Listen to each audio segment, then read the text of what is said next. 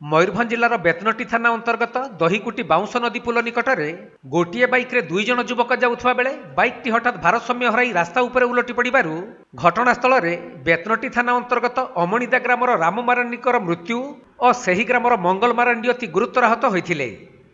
ତେଣୁ ତୁରନ୍ତ ଗୁରୁତର ମଙ୍ଗଲକୁ ଏକ ବୋଲେରୋରେ ବେତନଟି ଗୋଷ୍ଠୀ ସ୍ୱାସ୍ଥ୍ୟ କେନ୍ଦ୍ରକୁ ନିଆଯାଇଥିଲା।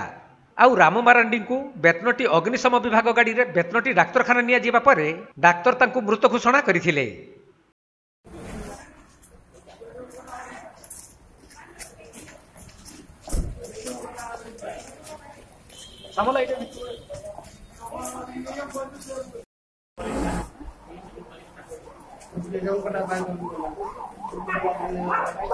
ମୟୂରଭଞ୍ଜ ଜିଲ୍ଲା ବେତନଟିରୁ ସୁଧାକର ଭୂଇଁଙ୍କ ରିପୋର୍ଟ କୋଣାର୍କ ଲାଇଭ୍।